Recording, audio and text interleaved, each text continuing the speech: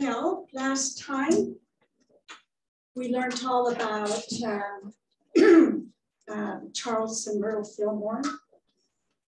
And today you're going to know about the other woman. I can see that you're laughing, you know nothing about her. So anyway, um, so all this material is from a hundred, over a hundred years ago. So the last time we discovered that Charles and Myrtle Fillmore, uh, they, uh, are you okay? Okay, that um, they were involved in all the isms Buddhism, Theosophy, Rosicrucian, Brahmanism, Spiritism, Hinduism, and all the occult teachings. And uh, Charles even started, I mentioned last time that he was got, got into Spiritism and thought, I can be a great medium. So he tried lifting tables up with his friend, you know, to see if they would mysteriously rise in the air. And then he discovered the Bible, the Spirit of truth, which is the Holy Spirit and Jesus Christ. So the truth that he found in the Bible brought forth the truth that unity used to heal and bring forth um, advanced stages or states of faith and also enlightenment. And so, um, incidentally, are there any Brahmins here today? I just thought I'd ask. Um, I've never met a Brahmin. I'd love to know a little bit about them. What do they eat? What do they wear? Do they wear a hoodie, a loincloth? I'd love to know about them. So, but that he was in that, and I was the one ism I missed. Uh, but then I got into Alice Bailey and I got into Djwhal Khul and uh, the Fillmores missed that. And I studied all the isms that they did, the Theosophy, the Rosicrucians, um, Manly Hall. Manly Hall was just down the road from me. I go used to listen to him once a week. The Buddhism, Spiritism, and Hinduism but the Brahmanism is still a mystery to me. Anyway, and the cults, I loved cults. There was one special cult that I liked, um, and they said that I was actually a walk in from a galaxy that the Hubble telescope had never seen. And I don't know, there was something about that. Cults are so special because they make you see, feel very special, like you're receiving information that not the common herd gets. Mm-hmm. And there's something about that I love. Well, in 1987, I discovered the Bible, the Holy Spirit, and Jesus Christ. And all my isms just felt impotent compared to what I was getting into. So I fell in love with Isaiah and Jesus and Paul and Zechariah and all the others. I just loved them and, and my body healed. Rarely have I ever been sick. And I do believe it's because there's a marvelous thing that happens.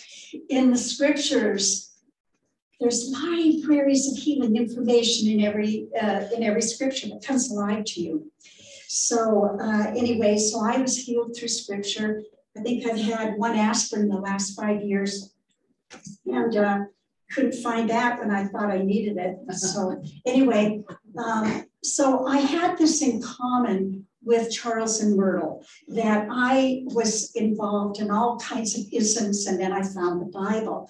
So I read everything they wrote, and um, including this right here, which is look at this. It's all apart, but this is 720 pages. Practically everything is underlined in here.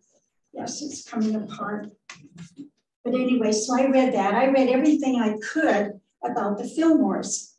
So in the front of his books, he says unity is a link in the great educational movement inaugurated by Jesus Christ. Our objective is to discern the truth in Christianity and prove it. Our purpose is to help and teach mankind to use, prove, um, demonstrate the eternal truth taught by the Master Charles Fillmore, founder of Unity. That's of his books. So before there was the Unity churches, so last time we just got into the magazine. He just had the magazine, but through the magazine, that magazine went all over the world and thousands of people were reading it. Uh, so, but before he got into opening a church, he decided that he was going to start societies. And I love these societies. What could be accomplished? He said, healing, reading together the Bible, a small gathering that could share dreams and visions, pray for world conditions and people struggling. They were told to also pray for the world leaders. Charles Fillmore said, two people in this society working together in perfect harmony will do the world so much good, more than 100 who are in discord. He said, begin with music, and then afterwards, you're going to just sit there in the silence to see what does the Spirit of truth want to say to you? They were to look for revelations and realizations in Bible scriptures. The results were so phenomenal that people grew spiritually, they loved more. They prospered in every area of their life.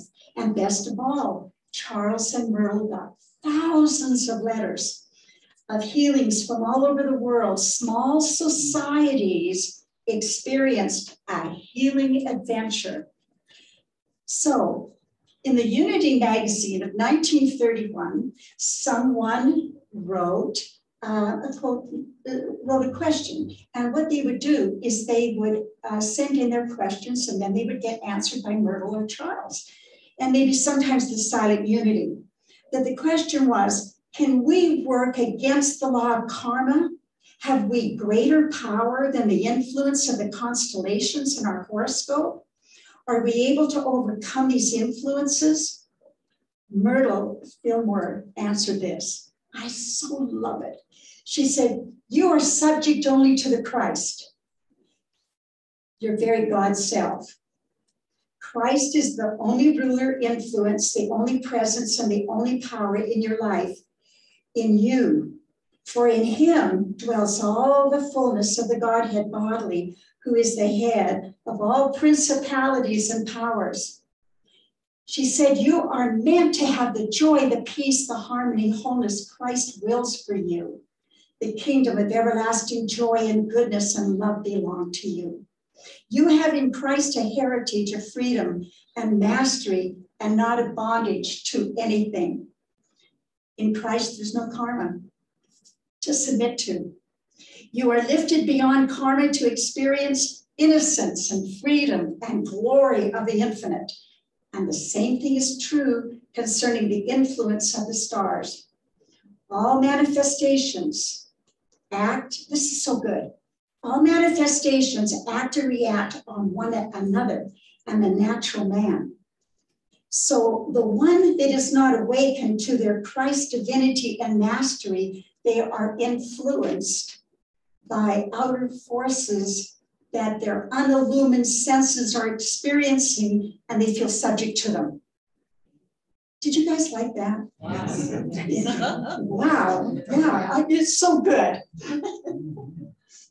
yes. So anyway, um, oh, it's so good. I, I won't read it again. When we attain our stature in Christ, we have dominion over all the outside forces.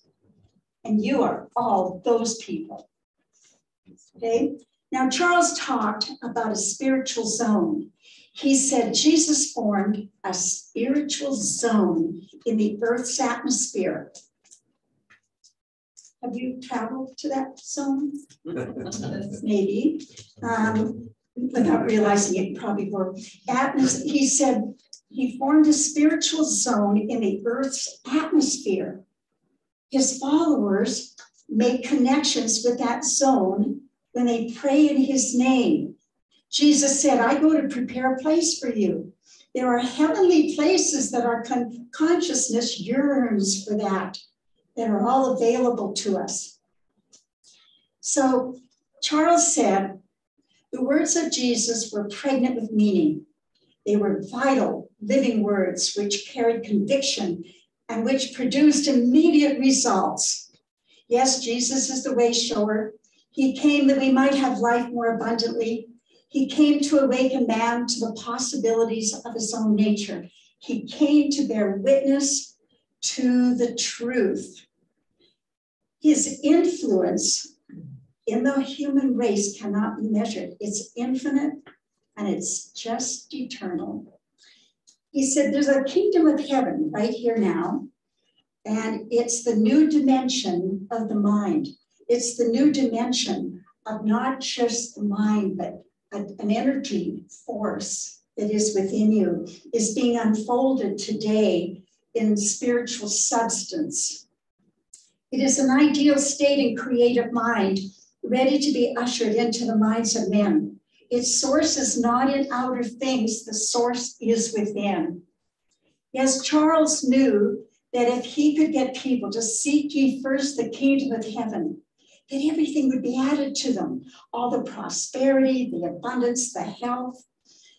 So he his felt this was his mission to move people into the kingdom of heaven. The people were taught that their vision, I like this, he, he taught them, your vision can see heavenly kingdom realities if they only kept God foremost in their mind. I don't know about you, but I think looking at kingdom realities would be a lot more fun than looking at um, the web at some of the things that we think are going on, right? Then he said, I love this. He said, You're here for a purpose. And that purpose is never fulfilled as long as you're dazed by the demands of your senses nor are you fulfilling the law of your being by going over day after day the petty round of human existence, people that hurt you, uh, past mistakes, feelings of unworthiness. You have been cast in a larger mold than that. God did not create you to be forever dust and ashes, to be blown this way, to be blown that way. Awake, sleeper, he said, in the human mind rise out of those low, low ideals and move into these higher realms. Rouse yourself for the kingdom of heaven is right now at hand. You are a king. Bestir yourself. The Christ of God is born in you, and the hour of your reign is truly at hand. It's now. I love his passion. the Fillmores believed in everything that was joyous and beautiful. So one time they were in a restaurant and the waitress, uh, he just commented, he said, wow, look at this waitress. She's just filled with joy. He asked her, he said, he, he, he commented to Myrtle, he said, she's, she's she acts like she's a unity person. Isn't this kind of interesting that there was people out there that were not joyous, and those must not be unity people.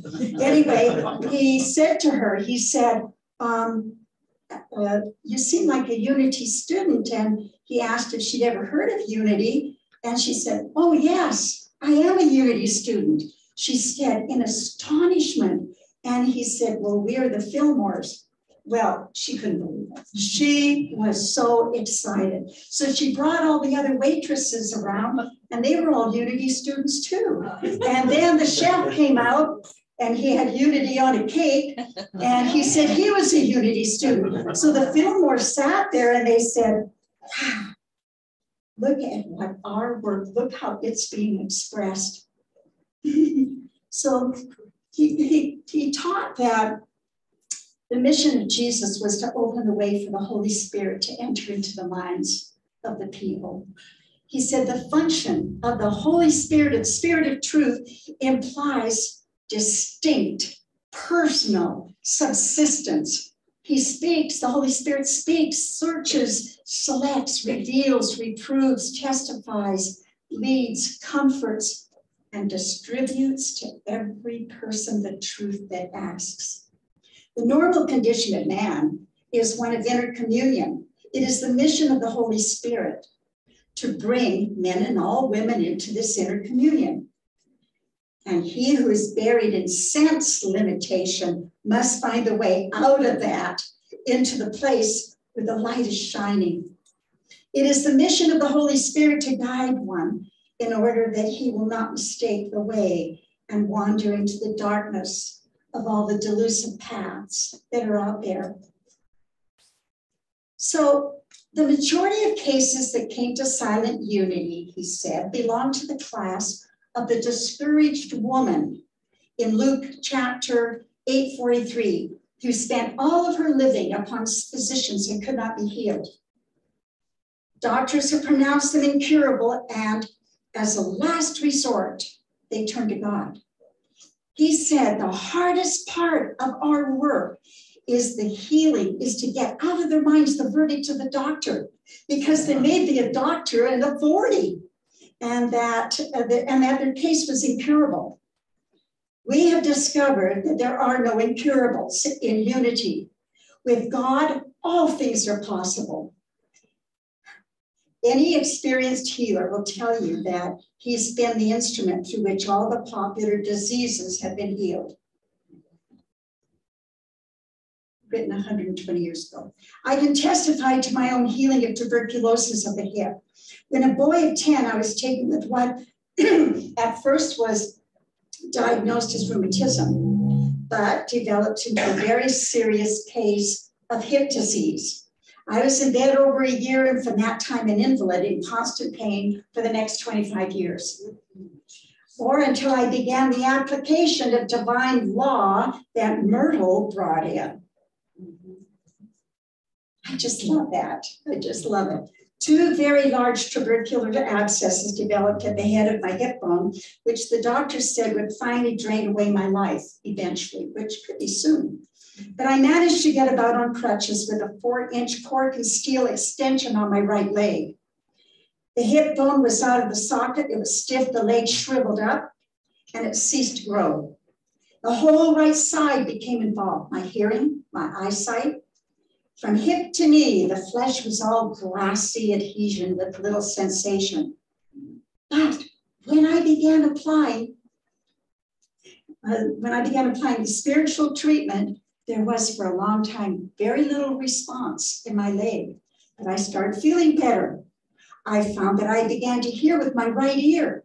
I could see better out of my eyes. Then gradually I noticed I had more feeling in the leg. And he said, then as the years went by, the ossified joint began to get limber. And the shrunken flesh filled out until the right leg was almost equal to the other. Then I discarded the cork and the steel extension. I wore an ordinary shoe with a double heel. Now that leg is as large as the other one. He said, the muscles are all restored, and although the hip bone is not yet in the socket, I'm certain that it soon will be and I will be made perfectly whole. He said, I'm giving you minute, minute details of my healing because it would be considered a medical impossibility and a miracle from a religious standpoint. However, I watched the restoration.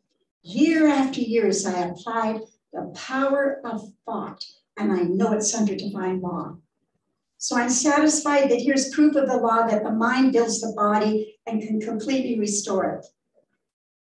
And then we want to remember it was actually because of Myrtle Fillmore and her extraordinary healing that inspired Charles.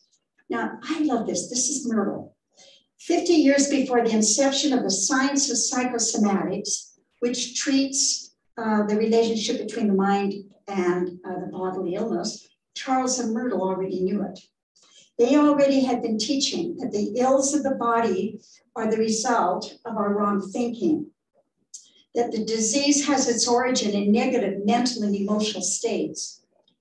And over and over and over again in the early pages of Unity, they traced physical disturbances to mental causes. And many years ago, this is so good. Myrtle wrote this to someone who was writing in from Silent Unity she said, You know, perhaps it will help you if I tell you that I suffered with a terrible um, a trouble similar to yours for years. And I prayed for healing many times, and I did all I knew to please God, and still my healing did not come. I tried to look over all my faults and to bring myself into harmony with truth after asking the Lord to show me just what was hindering me. Have you ever known people that do that? They get really ill. What could have caused this? And we, they kind of go back in, well, maybe I was, you know, I was angry with this one, or resentful towards that one. That's probably my problem. But she said something fascinating. She said, Spirit told, spoke to me very clearly, saying, Well, you've been looking among your faults. Now suppose you look among your virtues. I did. and there I found the cause of the deep seated physical suffering and congestion I had. I had considered it a virtue to control my feelings, to never give way to outwardly, to anything outwardly to never let anyone know when I was hurt or angered. I kept a calm and a pleasant exterior. But inside, did you really know this about Myrtle? She said, inside, I was resentful, I was worried, and I rebelled inside of me. Didn't let that out. And my secret thoughts and feelings were uh, cutting and congesting and weakening every vital organ and the walls of my body. And as I turned the light of spirit upon these hidden things and sought to have uh, divine mind transform my very subconscious mind, I, um, I could work from a new basis. I was healed and restored completely to harmony and strength. God does not change. All that keeps us from our good is our failure to unify ourselves in thought with the source of all good. So here's what she discovered, which I think is wonderful. Have you all heard about Myrtle and the healing she had? Yes. Oh, Yes. who has not? Oh, a few people. Okay. Oh, okay, okay. So Myrtle Fillmore wrote one of the most popular articles that Unity magazine had ever, ever read. And it was the story of her healing. And it was um, her amazing healing that Charles saw that inspired him and inspired thousands of people to experience healing. She said, I've made what seems to me a discovery. I was so sick. I had all the ills of my mind and body that I could bear.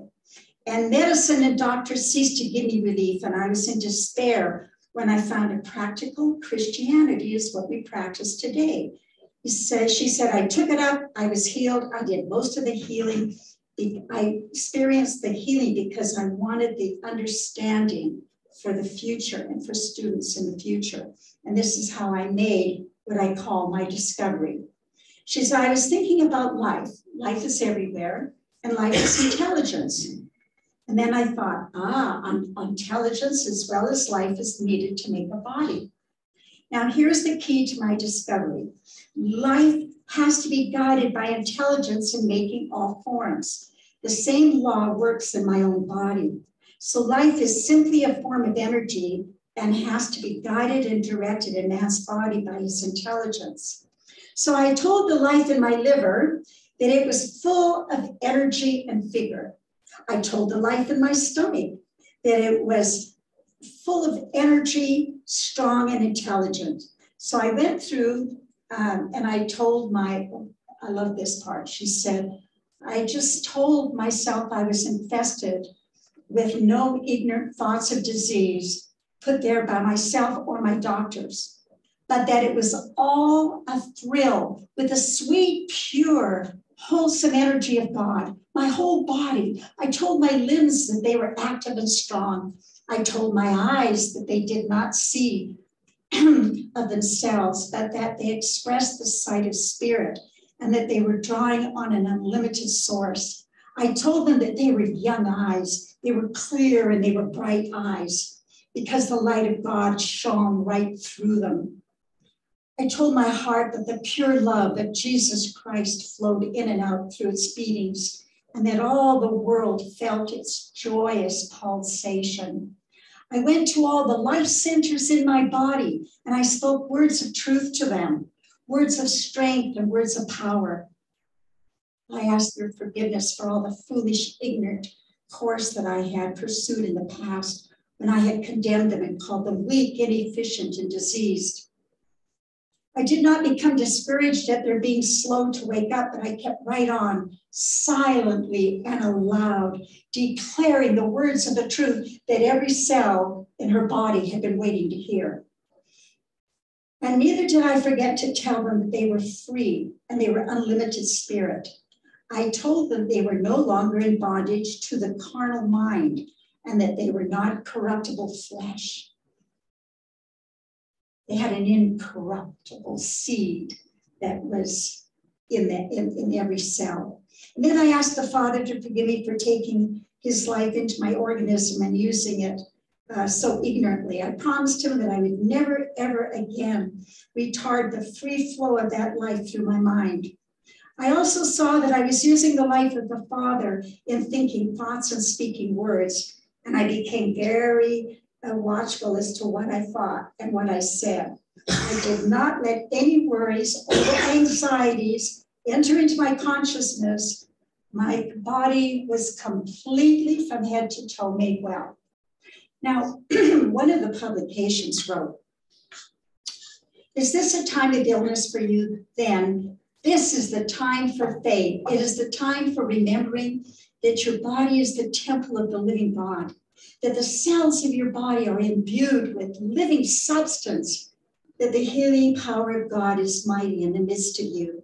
With God, all things are possible. And when you proclaim your faith in God as life, you feel the strength of this faith, for the faith in you is God inspired and grows as you express it. the contributions of the Fillmores is more than one word or buildings, it's one of hearts and minds and lives rebuilt by the transforming power of their ideas. People have always been burdened by the belief that they were born to suffer and die. Did you ever have that one?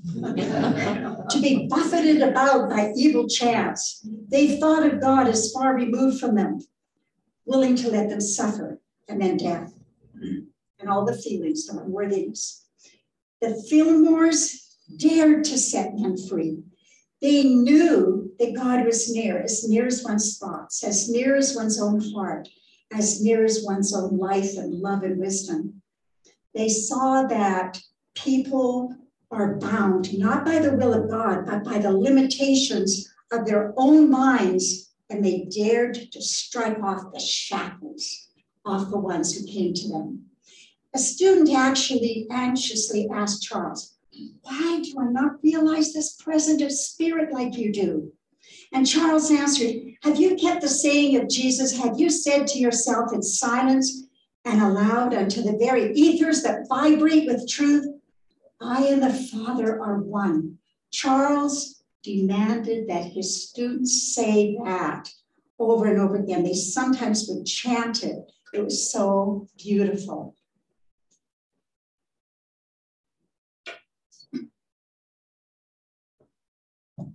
And the Father are one.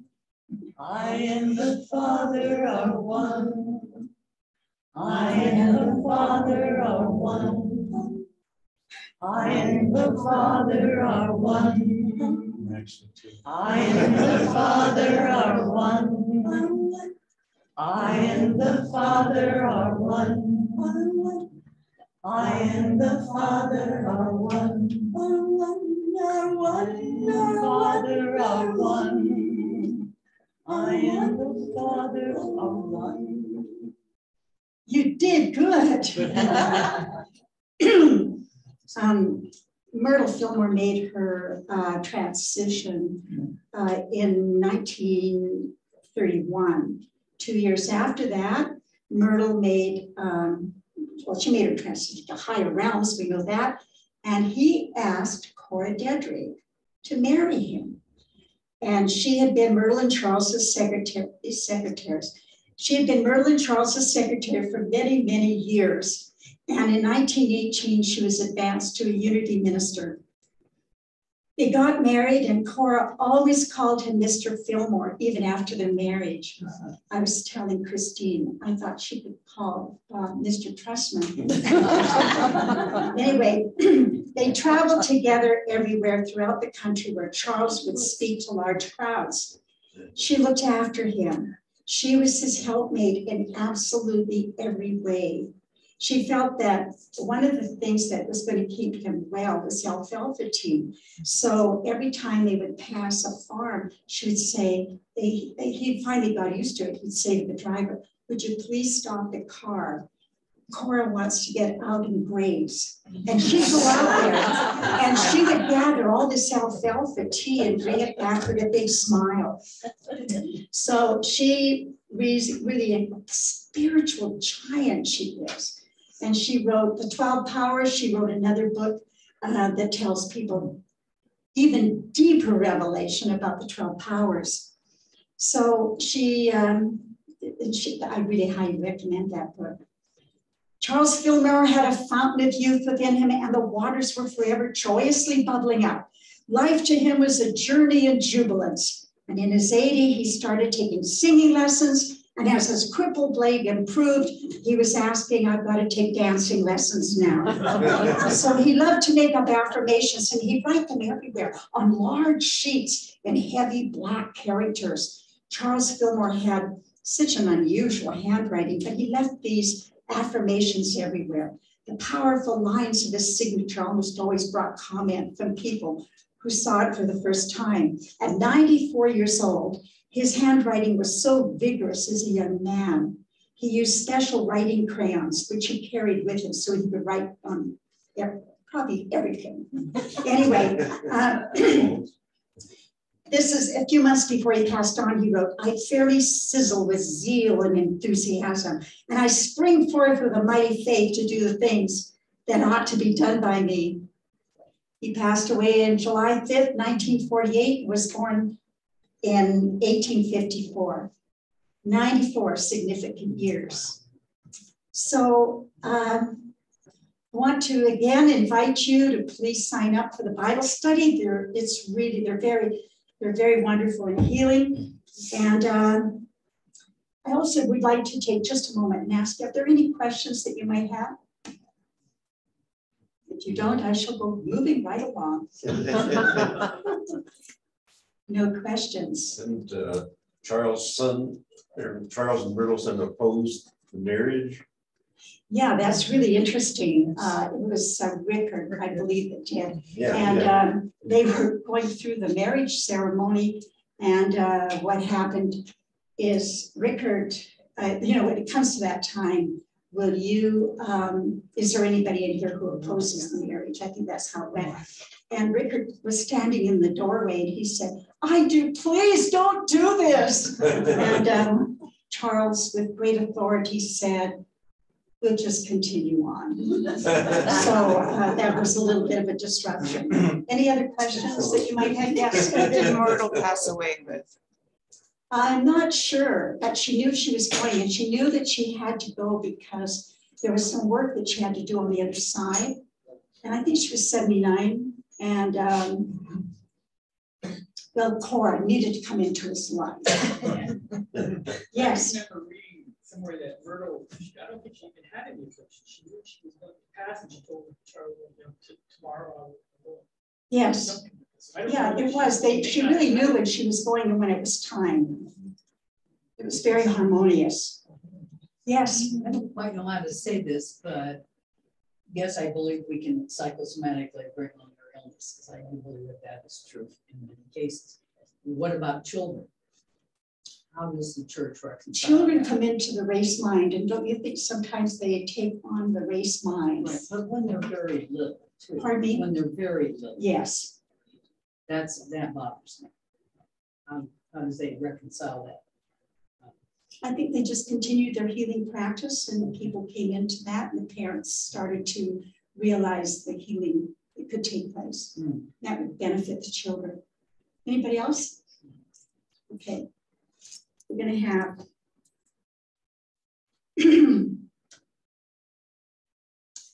um, okay, so Charles, there's some real incredible teachings that they taught that we can get into next time I'm speaking that I think you will really, really enjoy. So I think what we're going to do we brought these pictures too that you could see. There's Charles and there's Myrtle. I don't know if you can see them or not just so dear. Oh my gosh. Let's just close our eyes now. And I'd like to uh, read you a meditation that uh, Charles said.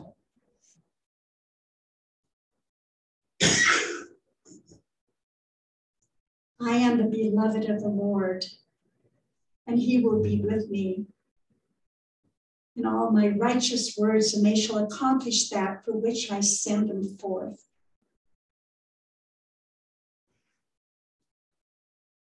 I cannot be deprived of my own, and I dissolve in my own mind and in the minds of all men the belief that what is mine can be withheld from me.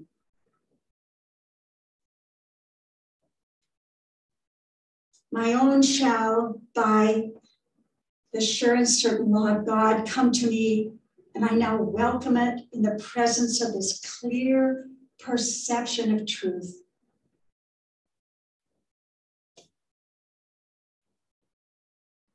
I'm under obligations to no one. God, my opulent Father, has poured out to me all resources, and I am mighty river of affluence and abundance. My bounty is so great that people marvel at its sumptuous abundance.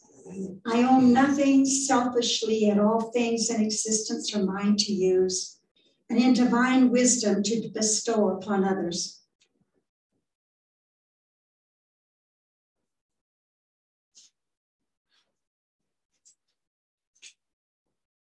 Thank you, thank you, thank you, and thank you for your singing. That was so beautiful. I am the Father one. Thank you.